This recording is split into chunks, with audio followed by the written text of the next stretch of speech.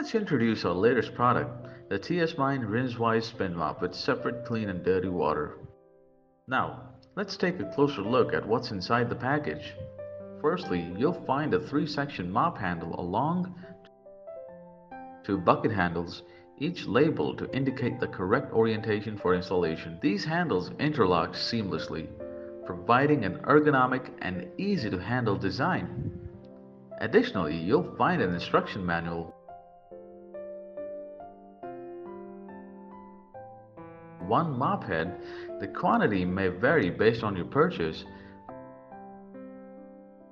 A mop base, two valve and two liftable tanks, one for rinsing and the other for spin drying. Okay, moving to the large bucket section, this side is designated for dirty water, while the other side is for clean water it features a water pump for dispensing clean water, a water guide trough, and a clean water suction tube. Now, let's proceed with the installation of the two bucket handles as previously mentioned. Ensure that the label side faces upward and align the handle parallel to the top of the bucket. You'll notice small holes with two notches. Align the handle's protrusions with these notches and firmly press them in.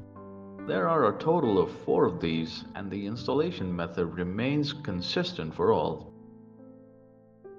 With that, your setup is complete and you'll notice its sleek design.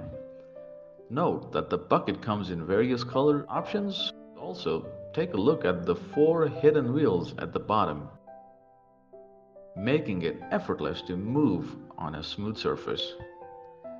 That covers the bucket portion. Now let's discuss the mop handle. First, let's address the mop base. No need to worry, it can be rotated to any angle and it's built to last. This is a three section handle the first section connects to the mop base. During installation, remove this section. Slide it onto the mop handle, then insert it into the bottom of the mop base, sliding it up and tighten it securely to ensure it won't detach easily. Once installed, it's easy to adjust the angle Subsequently, you'll install the second and third sections. For detailed instructions on installing the mop handle, please refer to the video description below. Once the mop handle is installed, it can be extended up to 61 inches, allowing you to comfortably mop without bending over. Please take note of the locking latch on the mop handle. When cleaning and spin drying the mop, ensure it is unlocked to allow free rotation. Next, let's move on to installing the mop head. Align it as shown. Press it firmly by hand or use your foot to press it down until you hear a click.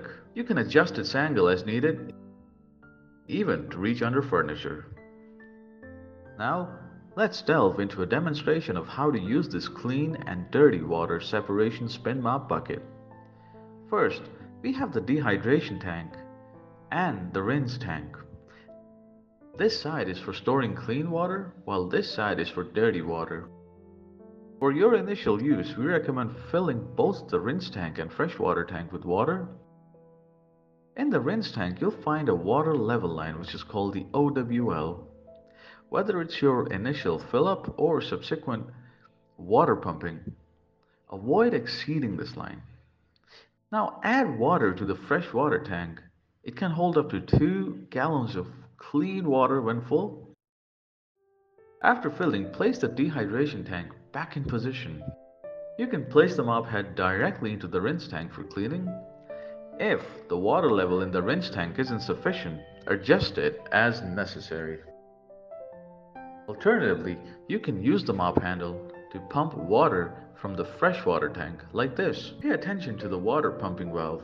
Keep it on while pumping a few gentle rotations of the mop will transfer the cleaning water to the rinse tank. Now you can use it for rinsing. After rinsing, move the mop to the dehydration tank. Before spinning, check the rinse tank to see if there's very little or no water left. Keep the water pumping valve on and the drain valve off. Now let's spin dry the mop and you'll see the water being guided back into the rinse tank through the water pump.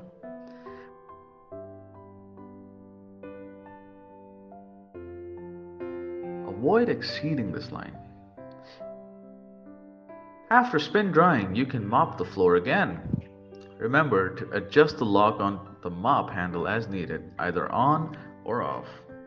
Once you finish mopping, rinse the mop head again. After rinsing, give it another spin dry. Before spinning, check the rinse tank to see if there's very little or no water left. Adjust the drain valve as needed to on or off. You might be wondering how many times you can rinse the mop head with the water inside the bucket? Well, based on our tests, it's approximately 4 to 7 times, depending on the amount of water you pump into the rinse tank each time.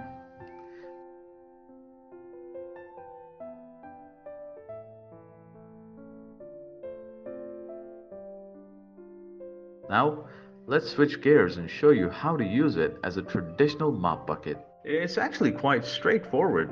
Simply remove this rinse chamber. You can rinse and spin dry in the same chamber, just as you're accustomed to. And you'll find it functions just like a regular mop bucket. Since we've already filled this tank with water, you can place the mop head in there for rinsing and then move it to the dehydration tank. Since we filled the clean water tank earlier for this traditional use, remember to switch off the water pumping function. As you can see, when you spin dry, the water is guided back into this tank through the water guide trough. After spin drying, mop the floor, then return to rinse the mop head in this tank.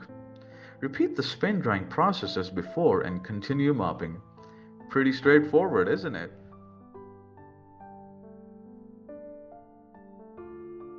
Once you're done with this mode, you can reattach the rinse tanks. Don't forget to switch the pump valve back on. With just a few simple steps, it transforms back into the latest and dirty water separation mop bucket. One bucket, two modes. That concludes our demonstration and explanation. You'll find our contact information below. If you have any questions during use, do not hesitate to reach out. We sincerely appreciate you sharing this product with your family and friends. Thank you, and have a good day. Bye.